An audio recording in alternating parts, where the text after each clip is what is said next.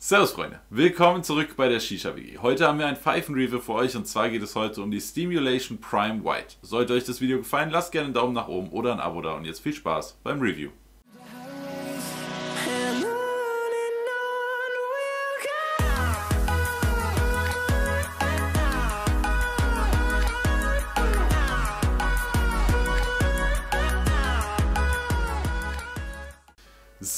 Da sind wir wieder mit der Stimulation Prime mit der weißen Bowl. Die Pfeife ist 45 cm hoch und kostet euch im Komplettset, allerdings ohne Kopf, 240 Euro und ist damit definitiv eine der höherpreisigen Pfeifen. Ob die Pfeife das ganze Geld wert ist, wollen wir jetzt mal im Laufe des Reviews herausfinden. Die Pfeife selber besteht aus V2A Edelstahl und das Glas ist Kristallglas. Aber das gucken wir uns genauer jetzt im Aufbau an. So, kommen wir als erstes zum Aufbau von der Stimulation. Ich würde sagen, wir fangen bei der Base an, denn das ist auch eines der besondersten Teile. Wir sehen hier unten ein ganz besonderes System. Und zwar funktioniert das mit der Kugel hier unten so, dass ihr bei dem Closed Chamber in eine der beiden Kammern hier außen die Kugel reinpackt.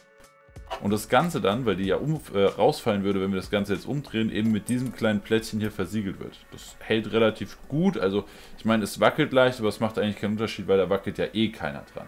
So, ich würde sagen, wo wir schon auf der Unterseite von der Base sind, machen wir auch weiter mit dem Tauchrohr. Das sieht auf der Seite auch wieder sehr, sehr komisch aus. Da könnt ihr euch bestimmt schon denken, was da gleich kommt. Aber wir schrauben das als erstes mal hier unten an die Base dran.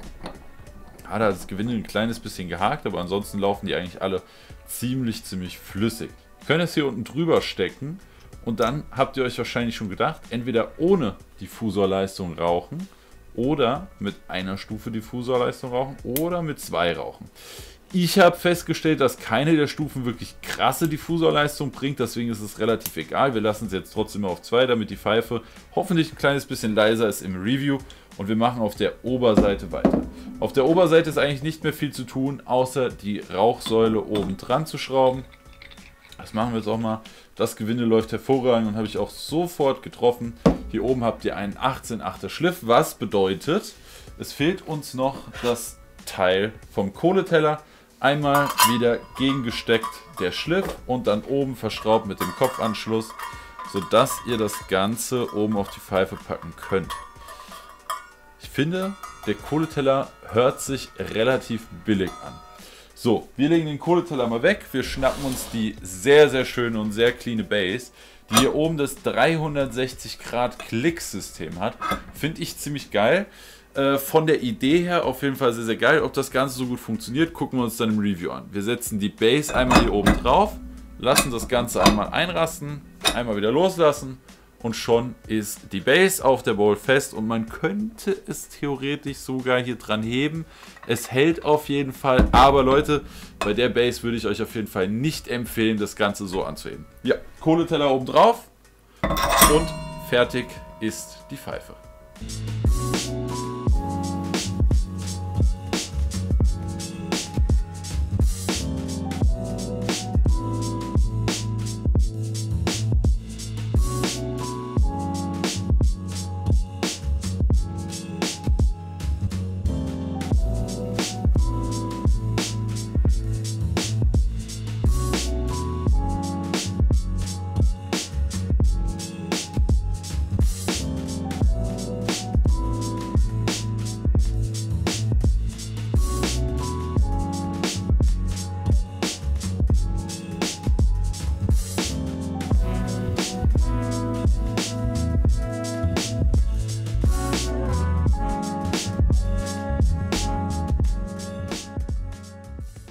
Den Aufbau und den Poren habt ihr jetzt gesehen und jetzt reden wir mal wirklich über die Optik. Mir persönlich gefällt die Pfeife ziemlich gut. Also als ich das erste Mal auf der Messe gesehen habe, dachte ich mir so, scheiße ist die geil. Hat mich auf jeden Fall gecatcht, gerade auch dieses weiße Glas. Äh, gefällt mir ziemlich gut und auch an sich, so wie die Pfeife aussieht. Sie ist eher ein bisschen schlicht gehalten, sie hat nicht irgendwelche Verschnörkelungen oder sowas. Von daher, von der Optik gefällt die mir sehr gut. Ihr wisst das ja Leute, ich stehe sowieso auf schöne und schlichte Pfeifen, die edel wirken und genau da holt mich die Stimulation Prime auch mega ab. Ich finde sie sehr, sehr schön mit ihrem ultra schlichten Design. Manche sagen vielleicht, ah, da ist mir zu wenig dran, da könnte noch irgendwas in der Rauchsäule sein oder an den Schlauchanschlüssen bzw. an den Adaptern. Ich finde das gar nicht schlimm, ich mag das genau so und deswegen finde ich die brutal schön und diese weiße Bowl einfach nur mit dem Logo drauf, finde ich einfach unglaublich geil. Am Anfang habt ihr auch auf der Bowl noch so einen kleinen Sticker, der euch den Füllstand anzeigt. Es kommt je nachdem, ob ihr mit oder ohne Diffusor auch 0,8 bzw. 0,9 Liter rein. Geht auf jeden Fall klar, ist nicht zu viel Wasser, aber die Bowl ist ja auch nicht so riesig. Die ganze Pfeife ist auch nicht so riesig, was mir auch gut gefällt. Ich mag das. Das ist eigentlich so genau die Größe an Pfeife, die ich sehr, sehr gerne habe, was ja auch natürlich mit in die Optik spielt. Wie das Ganze dann beim Rauchverhalten und so weiter ist, da kommen wir als nächstes zu. Vom Rauchverhalten sieht die Pfeife auch ziemlich positiv aus. Ihr habt einen schönen direkten Anzug, der ist auf jeden Fall nicht zu wenig, nicht zu viel. Ähm, muss aber trotzdem sagen, dass mir persönlich beim Auspusten der Klang einfach nicht ganz so gut gefällt, weil das halt so ein Klackern ist. Und dieses Klackern würde ich mir ein bisschen wegwünschen. Das halt beim Rauchverhalten, gerade wenn man halt mal auspustet, kommt halt des Öfteren mal vor. Ähm, aber da reden, reden wir auf jeden Fall im Fazit mal drüber. Das Rauchverhalten von der Pfeife ist auf jeden Fall durchgehend gut. Wie vorhin schon gesagt habe, habt ihr einen sehr direkten Anzug. Der Durchzug kann sich aussehen lassen. Er ist jetzt nicht ganz auf dem Niveau von der Ocean, aber definitiv noch einen Ticken besser als der von der Shishaya. Ich habe ja die ganze Zeit gesagt, der von der Shishaya ist für mich der optimale Durchzug. Ich muss aber sagen, das gefällt mir so auch schon ziemlich, ziemlich gut. Von daher auf jeden Fall sehr nice. Ähm, ja, beim Rauchverhalten habe ich definitiv keinen Punkt, wo ich meckern kann. Das Klackern, was du angesprochen hast, durch die Kugel beim Auspusten, finde ich eigentlich irgendwie cool. Es hat irgendwie so was Mechanisches und es ist immer so präzise, dass man einfach merkt, dass die Pfeife gut verarbeitet ist auch bei diesen Geräuschen, die da bei dem Ausblasen durch die Kugel entstehen.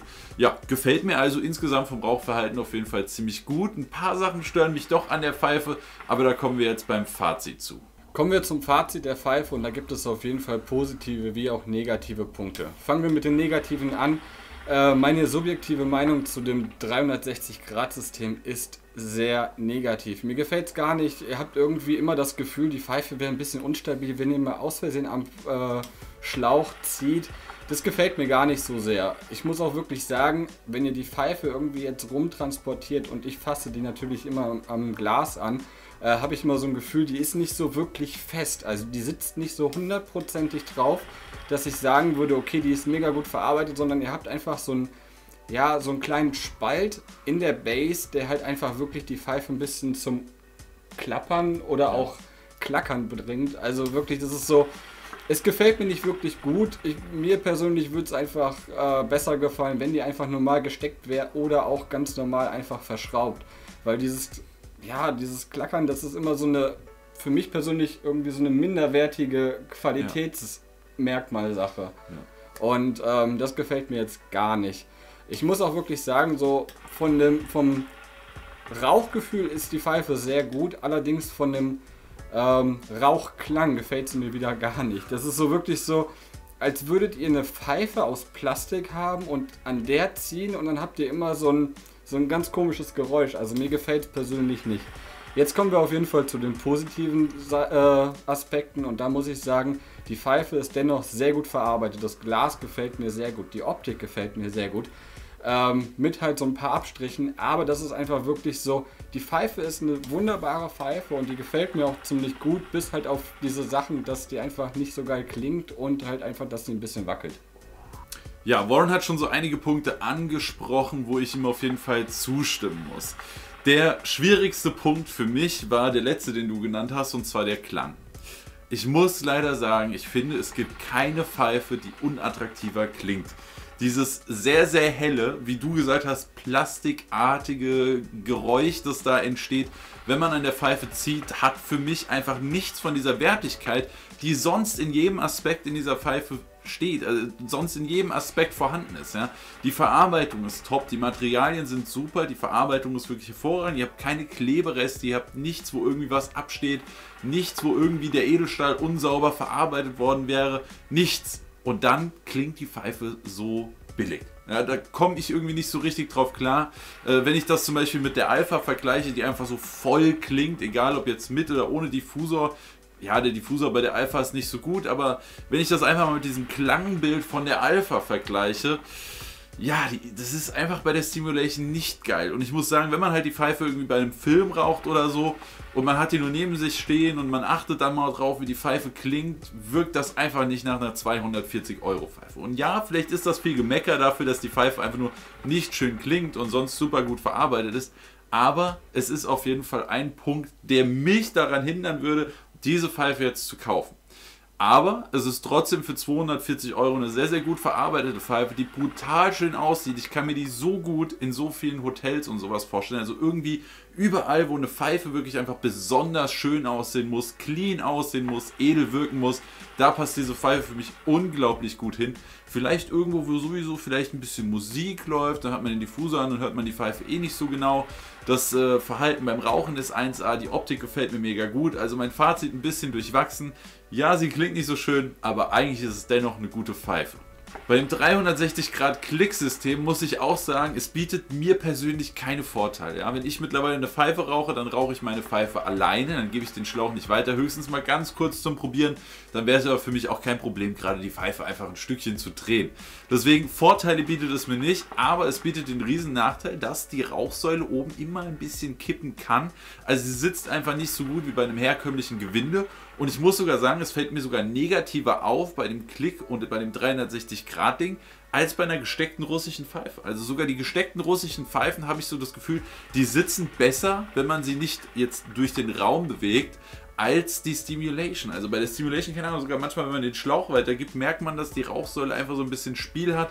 Ich weiß nicht, ob man dieses 360-Grad-System noch so weit verbessern kann, dass man sie drehen kann, ohne dass sie halt Spiel hat. Aber ne, sie muss ja ein bisschen Spiel haben, sonst kann sie sich nicht drehen. Sie ist ja kugelgelagert, das habt ihr im Aufbau gesehen. Aber das gefällt mir auf jeden Fall auch nicht so gut, einfach weil es mir keine Vorteile bietet. Ich kann mir aber vorstellen, für Leute, die immer nur mit einem Schlauch rauchen und diesen Schlauch dann weitergeben, könnte schon ein krasser Vorteil sein, nicht jedes Mal die Pfeife anpacken zu müssen, anstatt wie bei mir einfach nur einmal kurz komm, probiere und dann drehe ich sie zurück und dann rauche ich wieder weiter. Da muss man aber trotzdem sagen, wenn du die jetzt einfach wirklich deinem Kumpel weitergibst und an der Pfeife selber drehst, am, am Schlauch, wirkt die mir so, als würde sie gleich umfallen. Also das, das 360-Grad-System ist nicht so hervorragend kugelgelagert, dass es wirklich sich frei bewegen kann, sondern einfach so ein manchmal auch so ein Ticken hakt. Ja, muss man auf jeden Fall sagen. Also, es läuft nicht perfekt rund und da würde ich mir einfach lieber wünschen, so, lasst es weg. Ja? Es bietet mir nicht so viele Vorteile, dass ich sagen würde, ich nehme diese Nachteile eben in Kauf. Einen kleinen Aspekt haben wir bis jetzt noch nicht genannt und das ist, wie ihr die Pfeife wirklich zu zweit rauchen könnt. Also wenn ihr wirklich mit zwei Leuten rauchen wollt und jetzt eine Kugel wieder reinpacken wollt, damit ihr halt nicht mehr auspusten könnt, aber dafür mit zwei Schläuchen rauchen könnt, müsst ihr die Pfeife komplett auseinanderbauen. Es ist für Bars auf jeden Fall ganz cool, weil so kann man wenigstens nicht die Kugeln klauen. Ja, das passiert. Aber trotzdem muss ich halt wirklich sagen, für mich zu Hause, für mich persönlich, ist es einfach viel zu viel Arbeit, da wirklich unten wieder das alles auseinander zu drehen und zu bauen und wieder rauszuziehen und dann wirklich die, äh, die Base wieder umzudrehen, um die Kugel reinzustecken. Das ist halt, wie gesagt, für Bars ganz cool, aber für mich persönlich für zu Hause ist es eher so ein störender Aspekt, wenn jetzt auf einmal ein Kumpel vorbeikommt und sagt so, hey, ich würde gerne mitrauchen und dann muss ich die halt wieder umbauen. Das ist halt so eine trickige Sache. Ich finde das System cool, aber trotzdem für mich persönlich zu Hause ist es manchmal ein bisschen nervig. Ja, das ist wieder dasselbe wie bei dem 360-Grad-System.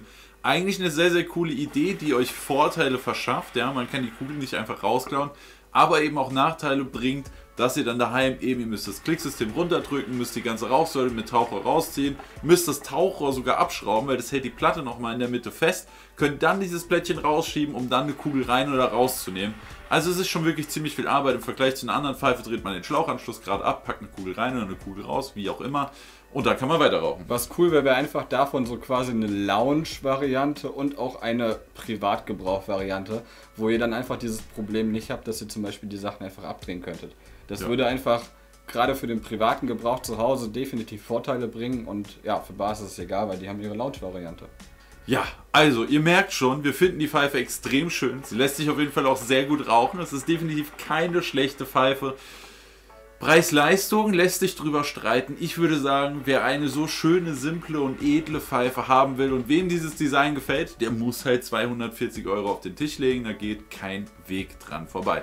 Aber es gibt auf jeden Fall mehr positive Seiten als negative Seiten. Es ist nicht so, als wären wir irgendwie super entgeistert, dass die Pfeife jetzt total schlecht wäre. Macht euch am besten selbst mal ein Bild. Die Jungs sind ja auch immer auf den Messen unterwegs. Einfach mal rauchen, einfach mal probieren. Vielleicht sagt ihr auch, hey, der Klang ist total brutal und gefällt mir mega gut. Das soll es dann aber zu unserem Review gewesen sein. Wenn ihr die Pfeife schon geraucht habt und eine andere Meinung als wir habt oder unsere Meinung bestätigen könnt, schreibt uns gerne mal unten einen Kommentar. Würde mich interessieren, wie ihr so die Pfeife findet. Ansonsten gerne einen Daumen nach oben oder ein Abo da lassen. Dann sehen wir uns beim nächsten Mal wieder. Bis dann, macht's gut. Eure Shisha WG. Ciao.